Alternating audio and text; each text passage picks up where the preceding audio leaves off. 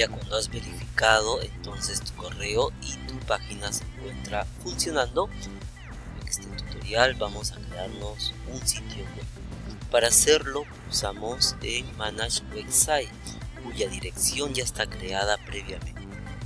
Ingresamos en Manage Website o verificamos los detalles de la página. Esto ofrece son el nombre, el sitio web, el ancho de banda, la capacidad del disco, entre otras propiedades. Pulsamos en gestionar el sitio web y nos lleva a estas opciones. Podemos crear un sitio web desde cero, podemos construir el website con WordPress o podemos subir un archivo o una carpeta para poder alojar en web hosting. Dicha carpeta con todos los archivos previamente elaborados nos permitirá alojar en este sitio de alojamiento gratuito. Si optamos por la primera opción, construir un sitio web de manera fácil, le decimos Build Now y esperamos que cargue entonces el editor.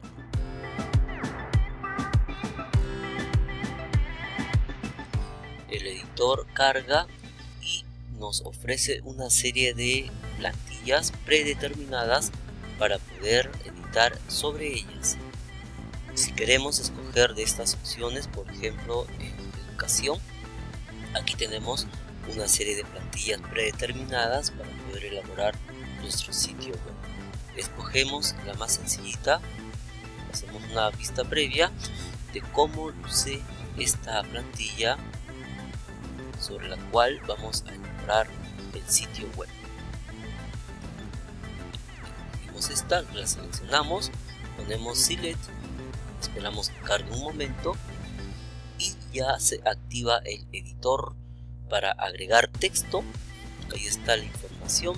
Si queremos agregar texto si queremos editar el texto, agregar una imagen, agregar un menú, editar el menú, propiedades de la página, cómo gestionar el SEO y publicar. Esos entonces son los pasos a seguir para elaborar nuestro sitio web con WebHost en base a la plantilla seleccionada.